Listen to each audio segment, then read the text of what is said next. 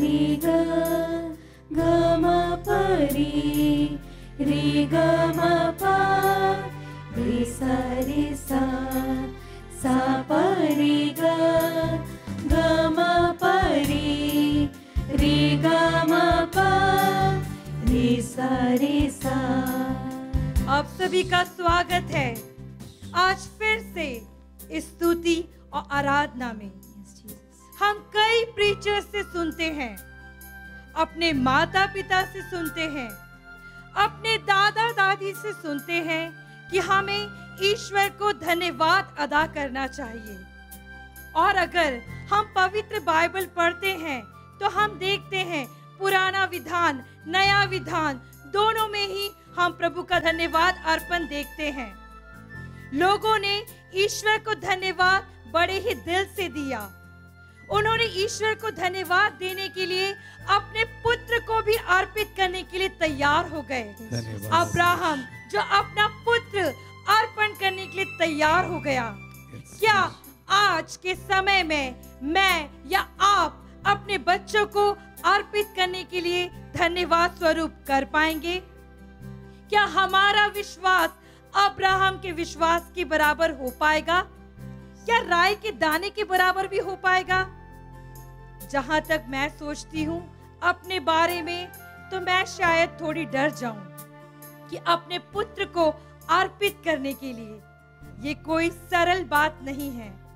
अगर हम नए विधान में भी देखें तो लोग उस समय में भी सब कुछ धन्यवाद स्वरूप प्रभु को चढ़ाते थे, हर एक छोटी सी छोटी बातों को भी। इज़राइली लोग नाचते, गाते हुए प्रभु को धन्यवाद अर्पित करते थे। पर क्या ज़रूरत है धन्यवाद देने की? अगर हम ध्यान से सोचे, ईश्वर को धन्यवाद देने के लिए तो हमें लिस्ट बनानी पड़ेगी कि प्रभु ने हमारे जीवन में क्या क्या किया है। हमारे पेजेस खत्म हो जाएँगे, पर धन्यवाद का जो लिस्ट है, वो कभी भी खत्म नहीं हो पाएगा। बल्कि हम लिखते ही जाएँगे, लिखते ही जाएँगे और वो खत्म हो जाएगा।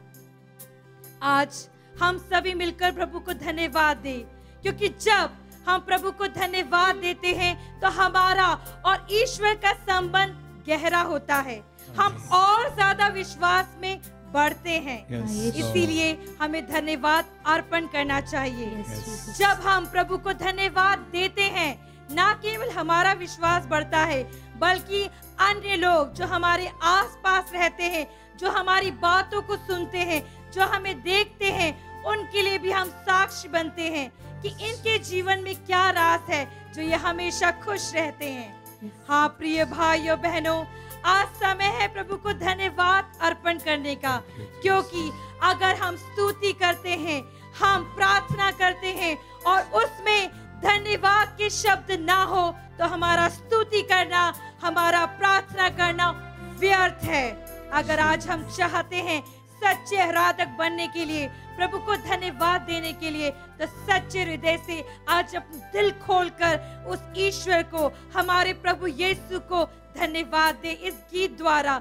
और दिल की गहराइयों से धन्यवाद दीजिएगा क्योंकि आज जब आप प्रभु को धन्यवाद देंगे आपका और प्रभु का संबंध और भी गहरा होने वाला है। और अगर हमारा संबंध प्रभु से गहरा है तो हमें दूसरे कोई संबंध की आवश्यकता नहीं है। आइए प्रिय भाइयों, बहनों इसराइली लोगों के समान हम भी नाचते, गाते हुए, खुश होते हुए, नया गीत गाते हुए प्रभु को धन्यवाद अदा करें इस सुंदर गीत द्वारा। यीशु तेरे करीबान से ज़िंदगी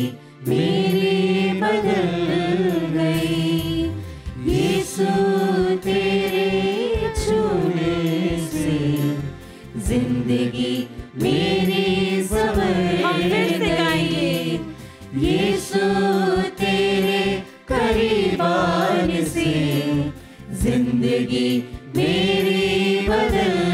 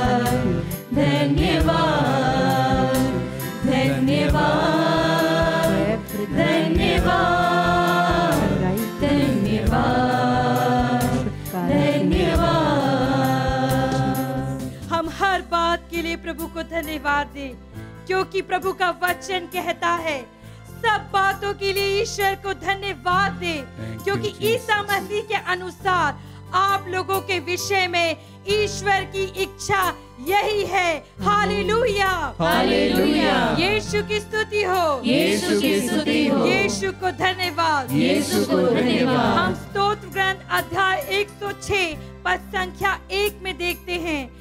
प्रभु का धन्यवाद करो उसकी स्तुति करो क्योंकि वह भला है। उसका प्रेम अनंत काल तक बना रहता है।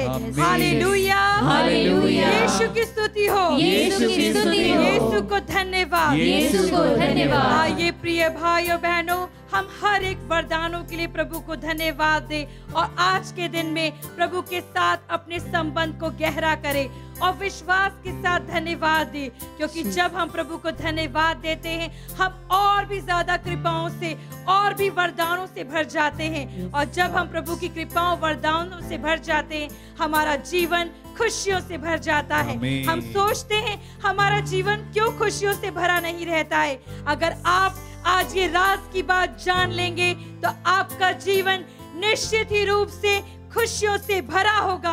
Hallelujah hallelujah. यीशु की स्तुति हो। यीशु की स्तुति यीशु को धन्यवाद। यीशु को धन्यवाद। यीशु की स्तुति हो। यीशु की स्तुति हो। यीशु को धन्यवाद। यीशु को आइए हम। इस गीत द्वारा प्रभु को फिर से धन्यवाद दें। मैं जो पापों में डूबा हुआ था और जो तुझसे दूर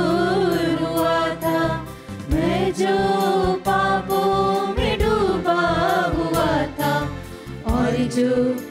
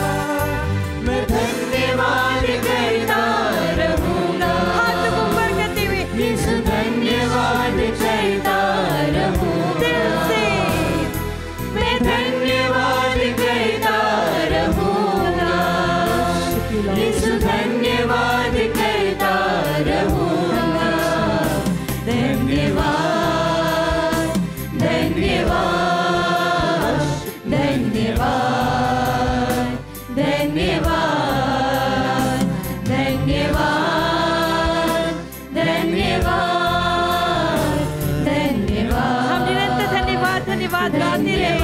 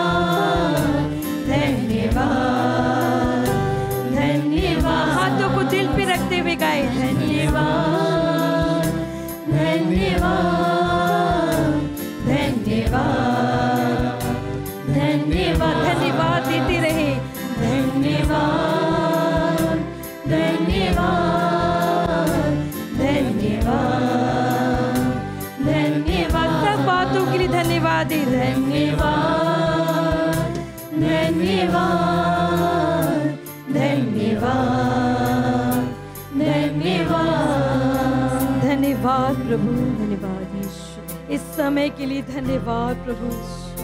तेरी आशीषों के लिए धन्यवाद प्रभु। मुझ पर दया बरसाने के लिए धन्यवाद प्रभु। धन्यवाद यीशु